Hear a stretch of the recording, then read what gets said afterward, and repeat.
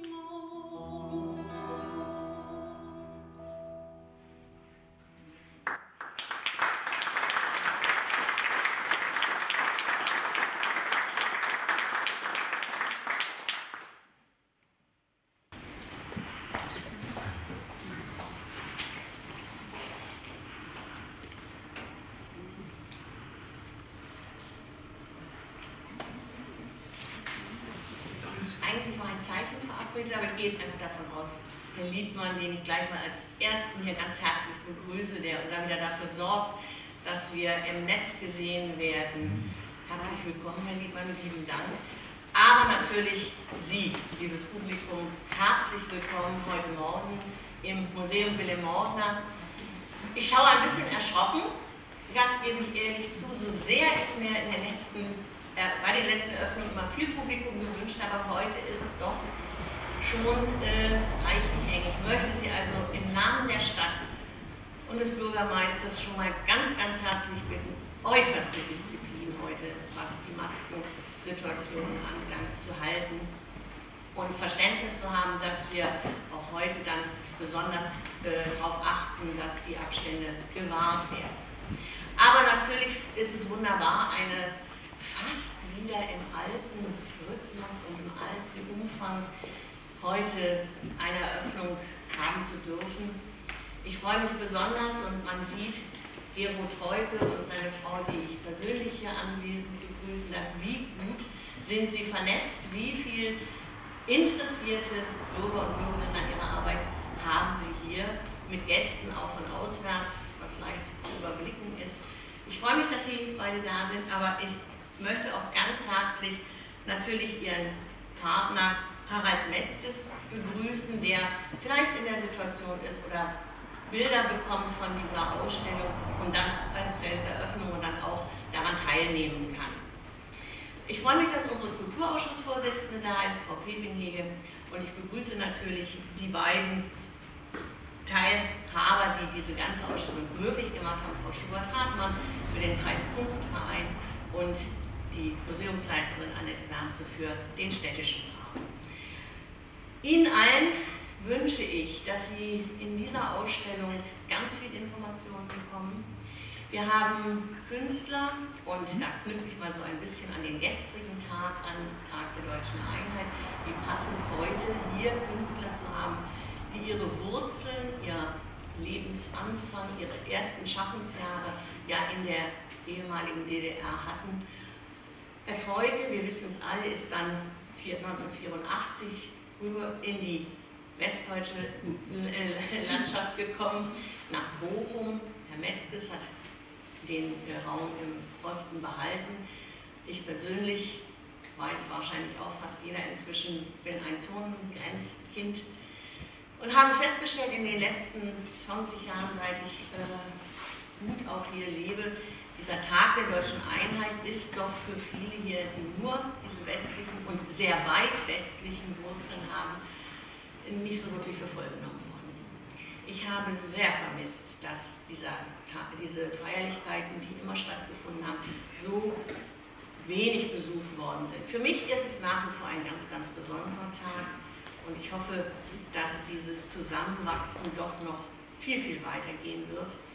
Es gibt einfach noch Unterschiede und wenn ich in meine alte Heimat fahre, die definitiv zwar auf westlicher Seite war, aber eben unmittelbar an der sogenannten Zonengrenze, dann merke ich schon, dass da auch immer noch ein bisschen Unterschiede sind. Aber das nur so ein kleiner Schlenker, weil es sich anbietet an diesem heutigen Tag, dem 4. Oktober. Ich wünsche uns allen, dass uns diese Ausstellung weit bringt, dass wir sehen, was ein Maler und ein Modell im Zusammenspiel ausmacht. Und ich überlasse den ganzen fachlichen Teil natürlich auch den Fachleuten. Frau Dr. Litt, die hier auch sehr, sehr gut bekannt ist, wird uns da sicherlich einweisen. Aber zunächst wird Annette Wernze ein bisschen was zum Programm sagen. Allen einen wunderbaren Sonntag noch und für Ihr Verständnis, was die Masken angeht, schon mal jetzt vielen Dank.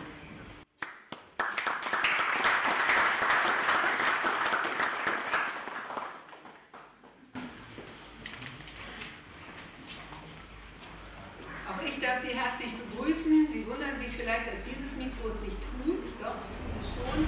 Aber wenn eben noch Menschen später gekommen wären, die einfach nicht mehr hier aufgenommen werden dürfen zurzeit, ist es nach draußen hin zu hören. Darum geht es. Genau. Herzlich willkommen. Frau Magnussen hat es schon gesagt, Frau Dr. Lieb mit ihrem Mann. Sie sind aus Bonn gekommen, Inga Schubert-Hartmann und die vielen, vielen Ehrenamtlichen, die die ganze Woche fleißigst hier waren. Vielen Dank dafür. Herzlich willkommen, Frau Treuke, Herr Treuke. Ich freue mich sehr. Bin selber begeistert von der Ausstellung. Man hat als diejenige, die das Büro hier im Haus haben darf, natürlich das Glück, täglich schauen zu dürfen, wie die Ausstellung wächst. Und dann, wenn das Licht gesetzt ist und alles fertig ist, man begeistert schauen und das fast jeden Tag auch tun. Also nutzen, nutzen Sie Ihre, Ihren Besuch heute, Ihre die Öffnungszeiten, wenn wir ab Dienstagnachmittag.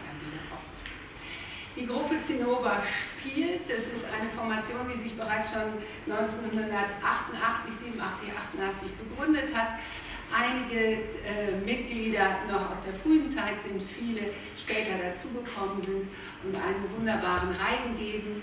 Eine Dame, die Querflöte spielt, ist heute verhindert, aber Sie wissen alle selber, wie schwierig wir im Moment die Situation haben.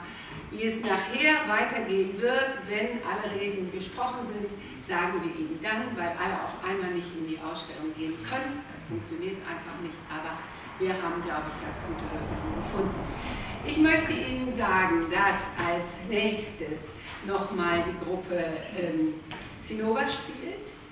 Dann ähm, Frau Schubert-Hartmann die Einführung macht als Idee, wo kommt sie denn her, wie ist es entstanden.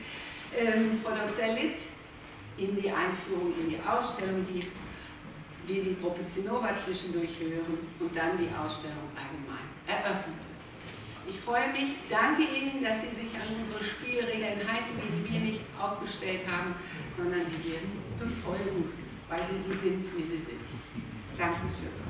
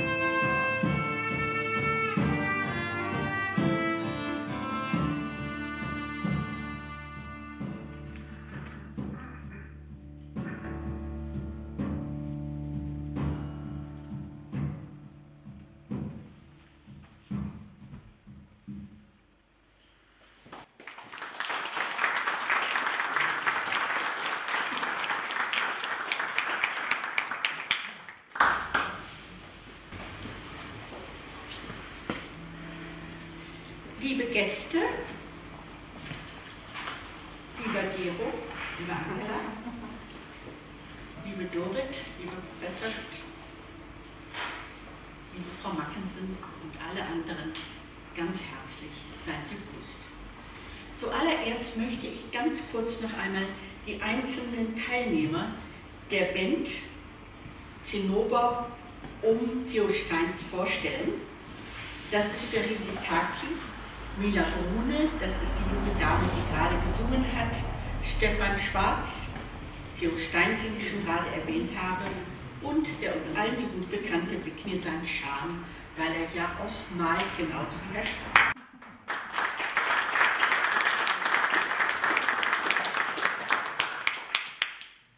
Sie können sich vorstellen, dass es schon eine ganz besondere Freude ist, dass in diesen Zeiten, wo man ja normalerweise kaum noch Musik im öffentlichen Raum hört, dazu noch Kunst, dass das halt ein ganz, ganz besonderer Tag, ich denke, für uns alle ist. Und dass wir es sicherlich heute auch genießen, in, mit Kunst und Kultur so massiv jetzt heute versehen zu sein. Meine Aufgabe ist es jetzt, auf die Entstehungsgeschichte dieser Ausstellung einzugehen. Und dazu darf ich Ihnen so ein kleines bisschen erzählen. Wie viele von Ihnen schon wissen, ist es so, dass Harald Metzges in unterschiedlichen Kombinationen bereits das dritte Mal in diesem Hause ausstellt. Und ich glaube nicht, dass irgendein Museum in Deutschland das von sich behaupten kann, dass es also Harald Metzges dreimal ausgestellt hat.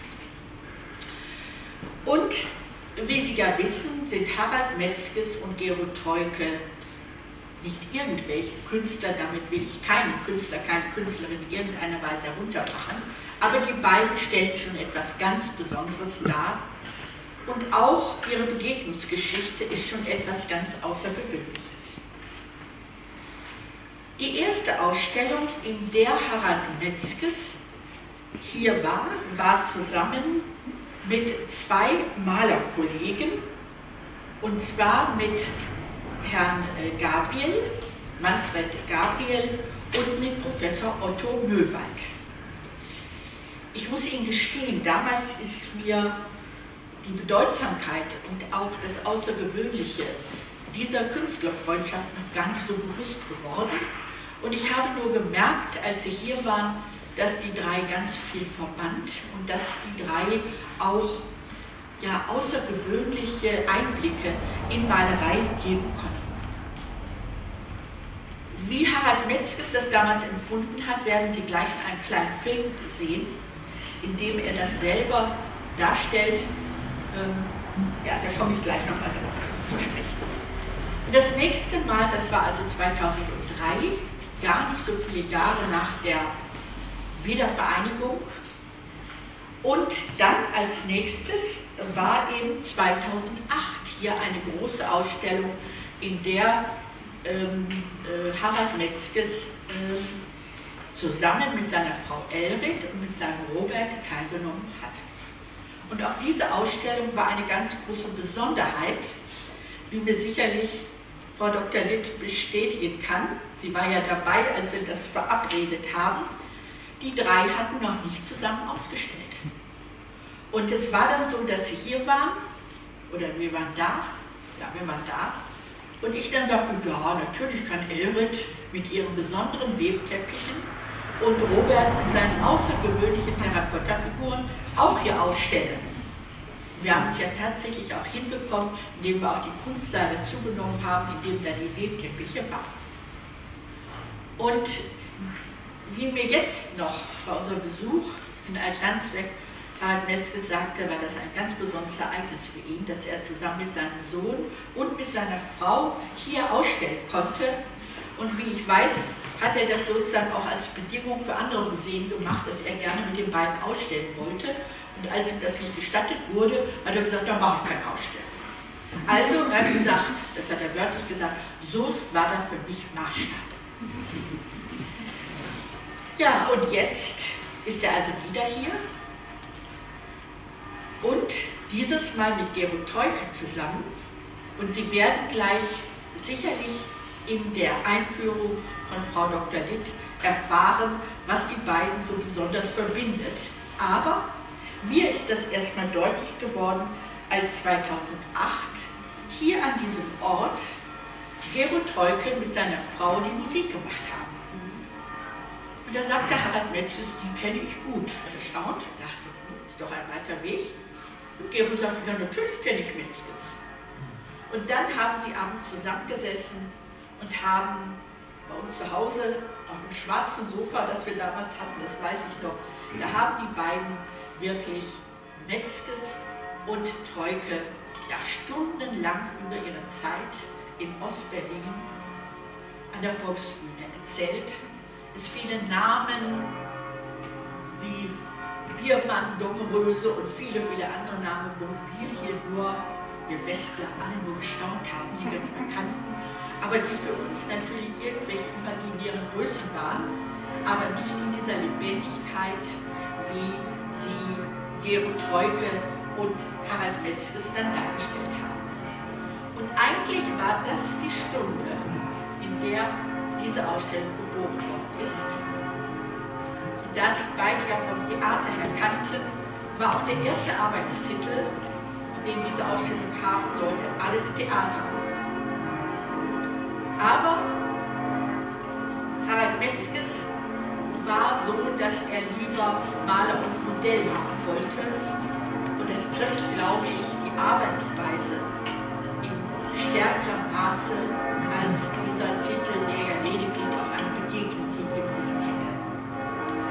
Ja, und so ist diese Ausstellung dann zustande gekommen. Dann gab es zwei wichtige Zwischenstationen.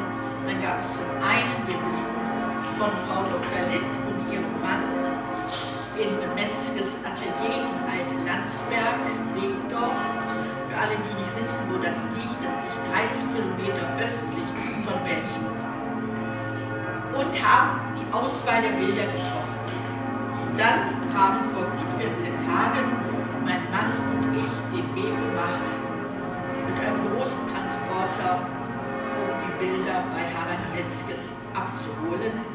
Und Sie werden gleich sehen in dem kleinen, in den paar Bildern, die wir jetzt gleich zeigen, nicht, die wir jetzt gleich zeigen werden, dass der Meister sich eigentlich zwischen 2008 und 2020 kaum verändert. Gero Kunst scheint jung zu halten. Ja, und so sind wir also wirklich sehr froh, dass diese Ausstellung hier ist. Wir haben uns alle nicht geträumt, dass es in diesem schweren Zeitpunkt sein würde, aber irgendwie kriegen wir das ja alles hin mit viel Nerven haben wir eine aufregende Woche des Hängens hinter uns.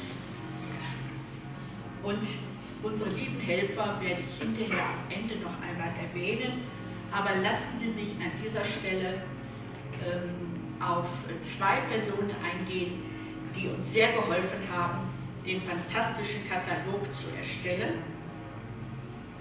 Dass Frau Dr. Litt natürlich einen ganz wesentlichen Anteil daran hat, das ist ganz klar.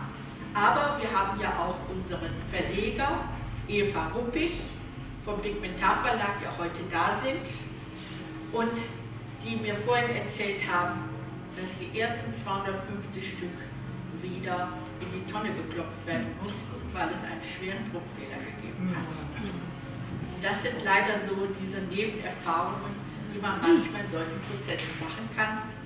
Und unser Layouter Martin Franke der aber sich wieder verabschiedet hat. Ja, und jetzt, damit Sie noch einen kleinen Einblick nehmen können, Sie haben alle die Gelegenheit, Gero Teuke und seine Frau in Rissmecke zu besuchen. Gero hat ein offenes Atelier, deswegen haben wir keinen Film und keine Bilder jetzt von Gero gemacht, aber damit Sie den 91-jährigen Harald Metzges wenigstens einmal sehen, er ist 91 Jahre alt, ähm, und hat gesagt, er möchte doch ganz gern in seinem Bett sterben und nicht mit dem Gesicht vor der Windschutzscheibe. Und deswegen hat er es abgelehnt, nochmal nach Soest zu kommen. So, mit dem Ton ist das so eine Sache, es ist kein Ton da. Das ist, war also äh, Harald Metzges mit seinem Ton Robert. Das ist er 2008. Das sind Werke von ihm, die damals aufgestellt waren. Das ist einer der Wegteppiche von Elrit Metzges. Dieses Bild ist von 2008, hängt aber jetzt oben. Hier sehen Sie ihn jetzt 20, 2020 und er hat es sich nicht nehmen lassen, beim Einpacken kräftig zu helfen. Das ist sein Grundstück, ist ein alter Gutshof mit lauter Bronzeskulpturen seines Sohnes Robert Metzges. Hier auch von Robert Metzges ein wunderschönes Anwesen. Hier hat der Meister doch ein wenig Rückenschmerzen inzwischen. Er war aber sehr erpicht darauf, dass alles sorgfältig verladen wurde. Einer seiner aus der Bronzegießerei, die dabei ist, hat mitgeholfen. Und hier fehlt leider der Ton. Bin ich so ein großer technischer ja, Könner, Könnerin, hält er eine wirklich ganz liebe Rede auf Soest und sagt, dass er das so genossen hat, in Soest zu sein, es eine so schöne Stadt. Und vor allen Dingen damals, 2003, als er mit seinen Malerkollegen hier sozusagen durch die Kneipe gezogen ist, das hätte ihm sehr, sehr gut gefallen. Und äh, äh, dann natürlich auch, dass er hier die schöne Ausstellung mit seiner Frau Elrich und seinem Sohn Robert hatte. Da bedankt er und erzählt darüber.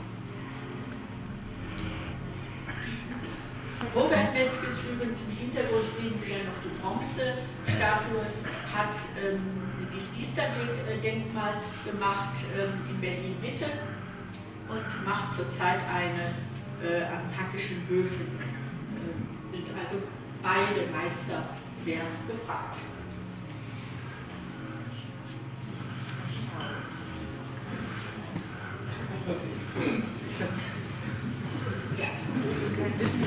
Er betont immer wieder, wie schön das gewesen sei und dass ich mich freue, dass wir alles jetzt abholen. Und er hat noch nicht einmal total darüber vergessen, dass ich Hier noch ein Eindruck. Hof. Und dann sagt er, auf Wiedersehen, kommt mal gut in Soße. Yeah.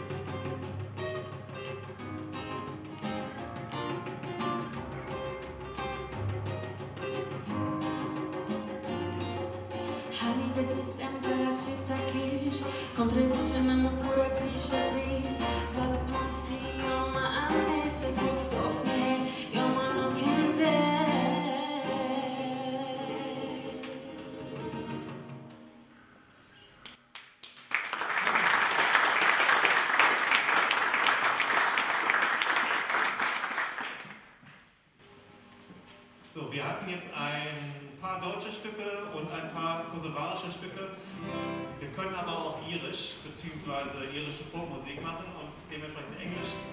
Das nächste Stück, bevor es im offiziellen Programm weitergeht, ist ähm, ein Irish Folk Traditional namens I'll Tell Me Ma.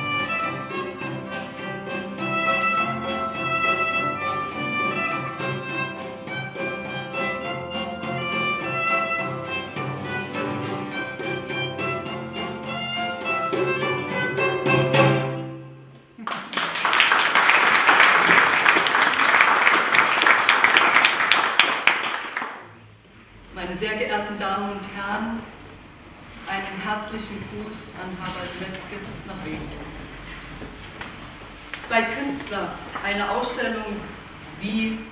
gelingen, zumal sich beide Maler nur in großen Abständen sehen und sich erschaffen unabhängig voneinander entwickelt hat. Zunächst in Ost-Berlin und ab 1984 im geteilten und wieder vereinten Deutschland. Die Voraussetzungen für das Gelingen unserer Ausstellung, in der zwei ausgeprägt individuelle Positionen aufeinandertreffen, sind gegenseitiger Respekt und beidseitige Toleranz. Ein Vorteil ist überdies, dass sowohl Harald Metzges als auch Georg Heuke bereits gute Erfahrungen bei gemeinsamen Ausstellungsprojekten mit anderen Künstlern gesammelt haben. Inga Schubert-Hartmann erwähnte bereits die Präsentation von Harald Metzges gemeinsam mit den ostdeutschen Künstlerfreunden Manfred Gabriel und Otto Möwald 2003 sowie an die Ausstellung von Werken von Gero Treuke und dem in Soos gebürtigen Karl Rusche zum Jahreswechsel 2004 Beide Ausstellungen fanden hier in diesem Haus statt. Nach reichlich 15 Jahren und nach genau 30 Jahren Wiedervereinigung Deutschlands begegnen sich nun Metzges und Treuke im unmittelbaren Dialog ihrer Werke. Die Ost-West-Thematik spielt dabei aber keine Rolle mehr. Vielmehr geht es um persönliche Wertschätzung und um künstlerische Reflexionen auf der Grundlage allgemein menschlicher Werte. Allerdings war es schon eine kuratorische Herausforderung, die malerischen Positionen von Metzges und Treuke in einem ausgewogenen Gesamtbild zu vereinen. Denn beide Maler hatten verständlicherweise konkrete Vorstellungen, was sie jeweils zeigen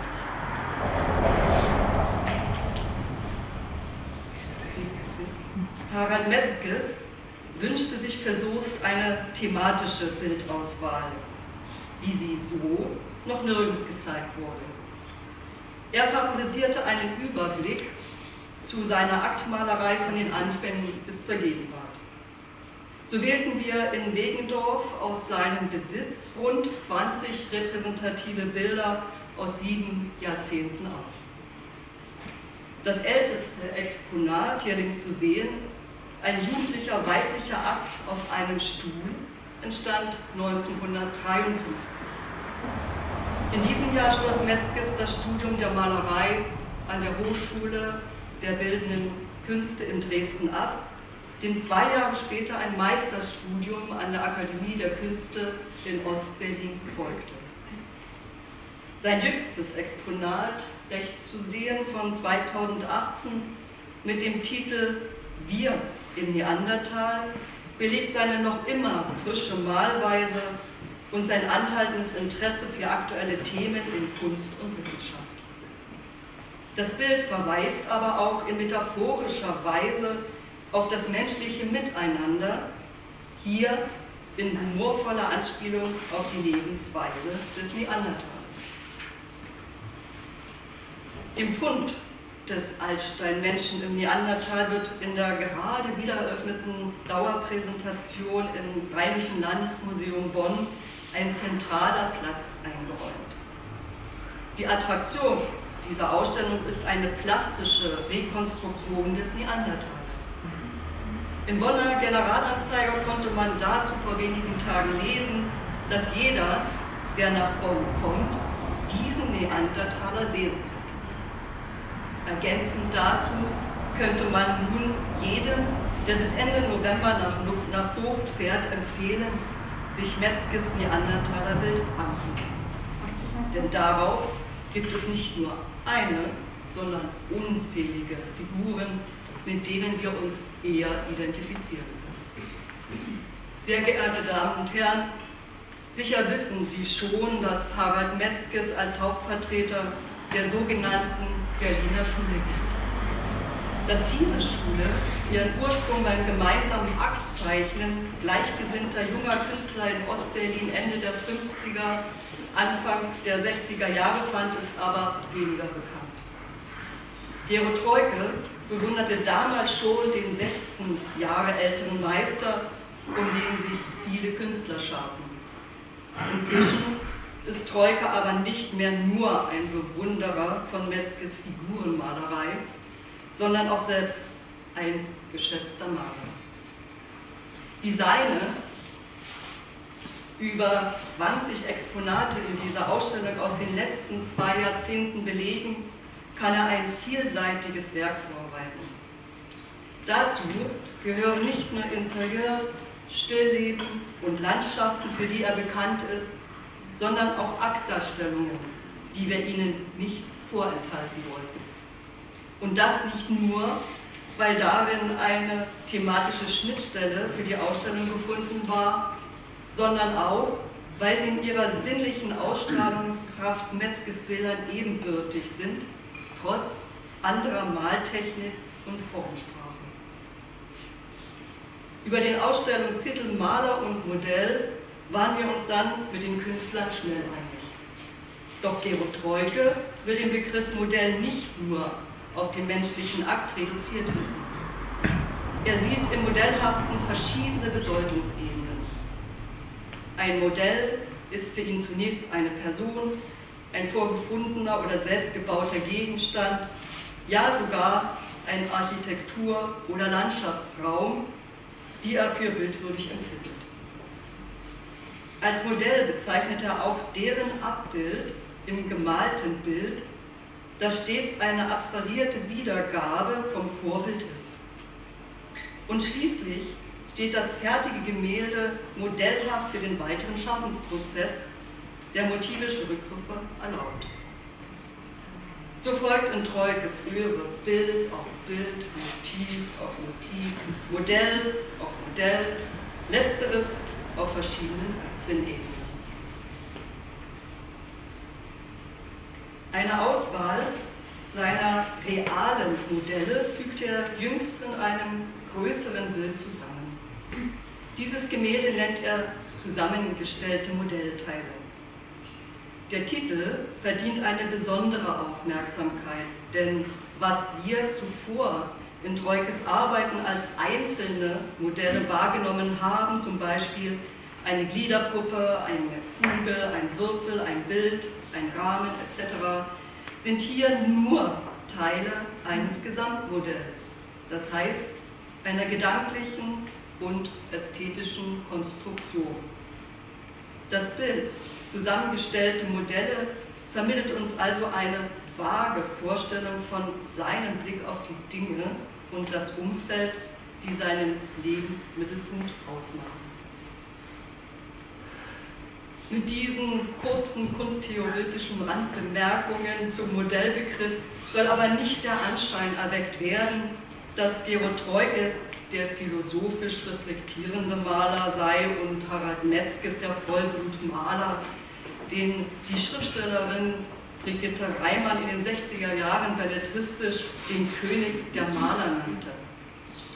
Jeder der beiden Künstler lotet auf seine Art die Tiefen der figurativ gegenständlichen Kunst aus und stellt dabei höchste Ansprüche an das malerische Handwerk als eine Grundvoraussetzung für ihr Schaffen.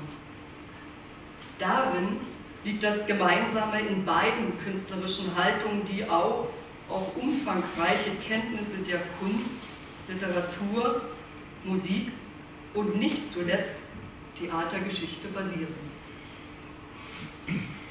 Auf die gemeinsame Zeit von Metzges und Troika an der Volksbühne in Berlin im Jahre 1970-71 hat Inga Schubert-Hartmann bereits hingewiesen. Es gibt aber noch weitere biografische Gemeinsamkeiten. Zum einen waren beide Künstler in der DDR mehr oder weniger sozialisiert. Harald Metzges blieb bis zur Wende DDR-Bürger. Und Gero Treuke war bis zu seiner Ausbürgerung und Übersiedlung in die Bundesrepublik im Jahre 1984 als Bühnenbildner an wichtigen Theatern der DDR beschäftigt, wie wir schon hörten, wo er bedeutende Dramatiker, Schauspieler und Regisseure kennenlernte. Zum anderen gehörten Metzges und Treuke zu den renitenten Künstlern, die sich staatlichen Vorgaben widersetzten. So verweigerte sich Harald Metzges in den 50er Jahren konsequent den staatlichen Vorgaben sozialistisch-realistisch zu malen. Seine Vorbilder fand er eher in der westlichen Moderne, die in der frühen DDR als formalistisch und bürgerlich dekadent verunglimpft wurden. Wenn sich nicht ältere, einflussreiche Künstlerkollegen für ihn eingesetzt hätten, wäre damit die Karriere als freier Maler in der DDR schnell beendet gewesen. Zu den Persönlichkeiten gehörten der damalige Präsident der Akademie der Künste in Ost-Berlin, Otto Nagel, und John Hartfield, der mit seinen politischen Fotomontagen weltberühmt wurde. Auch der Autodidakt Gero Treuke bewegte sich schon im jugendlichen Alter im Bannkreis nonkonformer Künstler. Zu ihnen gehörte an prominenter Stelle Roger Löwig, der von der Staatssicherheit verfolgt und inhaftiert wurde. 1972 schließlich nach West-Berlin übersiedelt. schwerwiegende existenzielle Erfahrungen wie Kriegsgefangenschaft im Falle von Metzges und Gefängnishaft in der DDR aus politischen Gründen im Falle von Troike prägten ihre Charaktere. Zugleich wuchs ihr Bedürfnis nach Toleranz, die in der DDR vor allem in der Künstler- und Theaterszene beheimatet war. Und nicht zuletzt fanden sie schon in den jungen Jahren in ihren jeweiligen Ehefrauen stabile Größen. Harald Metzges in der textilgestalteten Elbit ihren Werk das Soester Publikum 2008 kennenlernen konnte und Piero Troike in Angela, die Ihnen ja bestens bekannt ist. Und noch eine Gemeinsamkeit gibt es zwischen beiden Künstlern. Sie leben heute zurückgezogen auf dem Lande, abseits der kulturellen Metropolen, wo sie beim konzentrierten Arbeiten kaum Ablenkung erfahren. Die sieht man ihren dichten und sensiblen Werken ich wünsche beiden Künstlern noch äh, viel Schaffenskraft und produktive Zeit und Ihnen, meine sehr geehrten Damen und Herren, viel Freude beim Einsteigen in die Bilderwelten der beiden Künstler Georg Heuke und Ronald Metz. Vielen Dank. Thank you.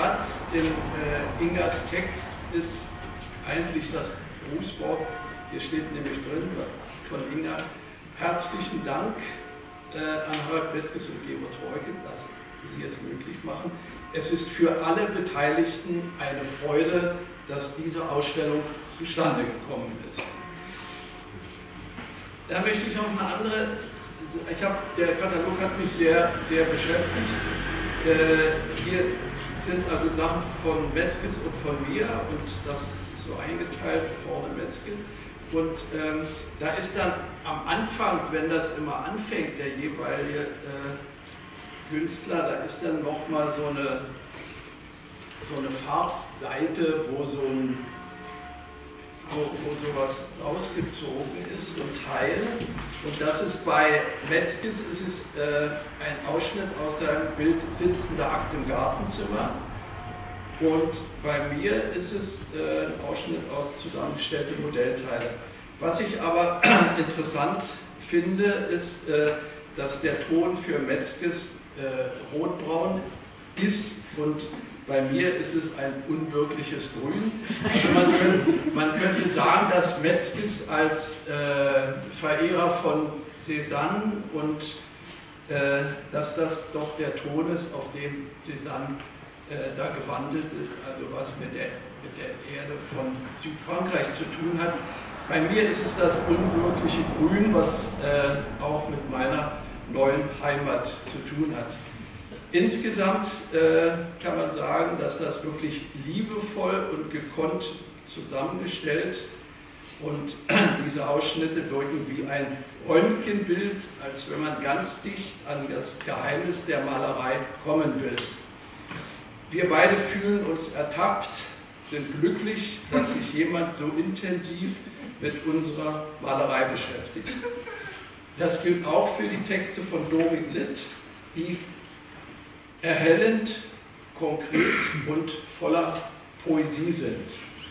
Der Katalog bietet die Möglichkeit, tiefer einzutauchen in die stummen Bilder. Dank allen, die in den letzten Tagen diese Ausstellung eingerichtet haben. Es war eine Freude zu beobachten, mit wie viel Umsicht und Sachverstand hier gearbeitet wurde. Nun hoffen wir auf neugierige Besucher.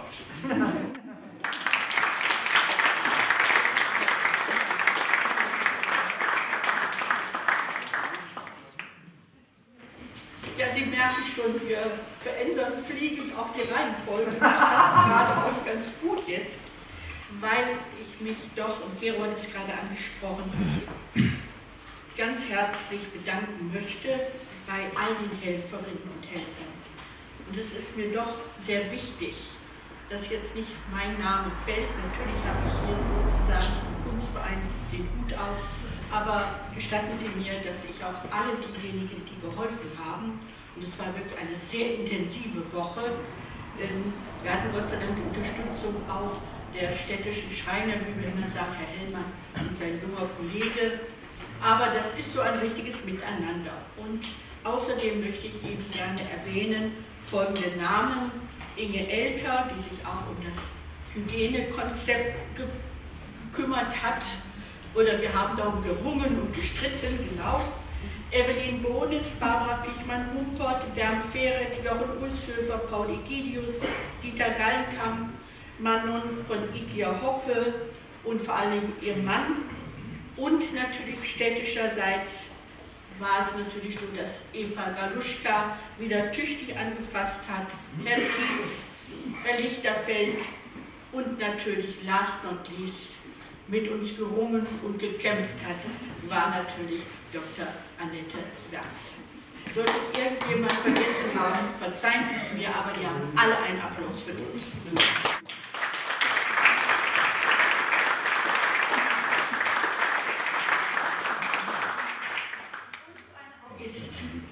neben dem, der spannenden Erwartung des Kataloges.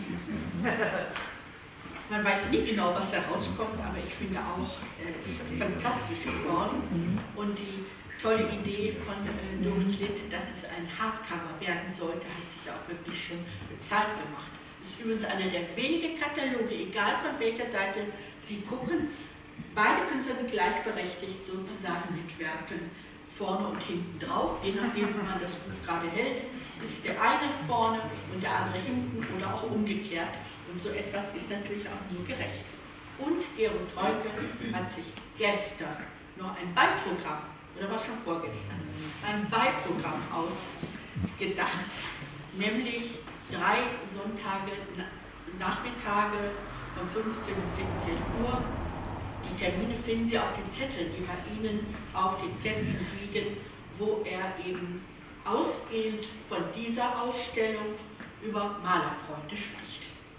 Und ich glaube, dass das ein schöner, interessanter Nachmittag werden kann, denn das wissen Sie alle, die Gero schon mal zugehört haben.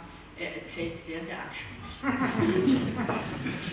so, und ähm, Sie wissen, wir haben Corona-Beschränkungen und es dürfen dann immer nur 15 Personen da oben sein, auf den Museumsstühlchen. Gero möchte gerne im Kabinett, das geht ja auch sehr gut, mit Abstand.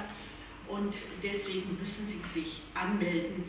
Die Anmeldedaten stehen da drauf. Und Annette, jetzt weiß ich nicht, ob du das sagen wolltest, wie wir das gleich mit dem Hochgehen machen. Dann füge ich das an. Wir haben ja darüber gesprochen. Oben in der Ausstellung dürfen gleich 30 Personen zusammen sein. Das heißt, ich werde mich mit einigen Helfern unten an die Treppe stellen und wir werden abzählen. 30 geht hoch, wenn wir welche runterkommen, können die anderen mal.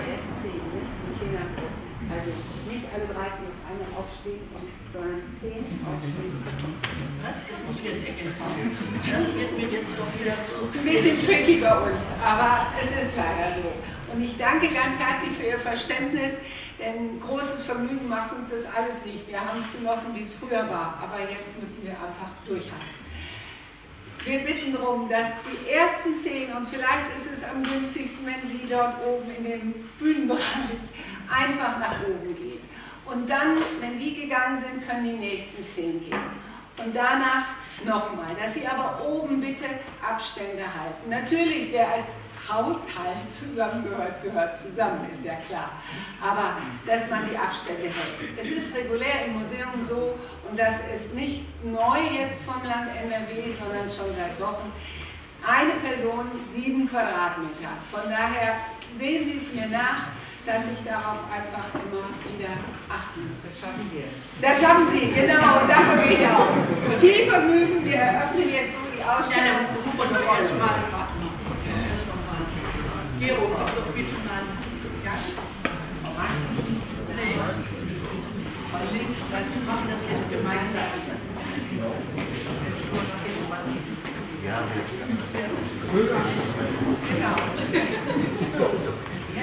Wir eröffnen jetzt diese Ausstellung und hoffen, dass Sie trotz der Einschränkung, und ich weiß ja, dass Sie das alle schaffen, da sind wir ja dann wirklich sich die Ausstellung sehr genießen und nehmen Sie die Termine für das Begleitprogramm von Gerold Teutenbach und natürlich heute ganz besonders, das haben Sie nicht jeden Sonntag, die Erläuterungen von Dr. Ludwig hören bis etwa 15 Uhr. Vielen Dank. Vielen Dank.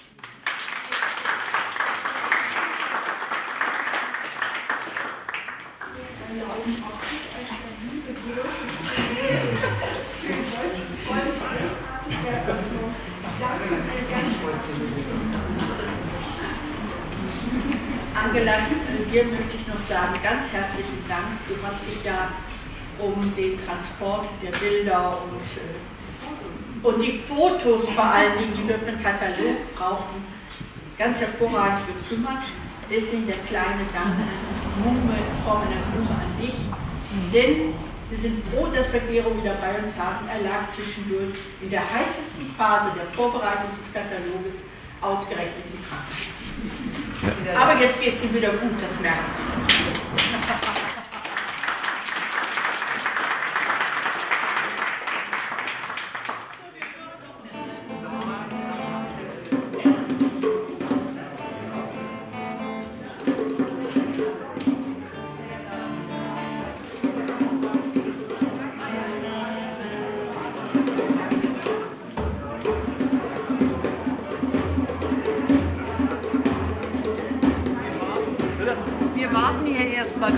Zehn rein.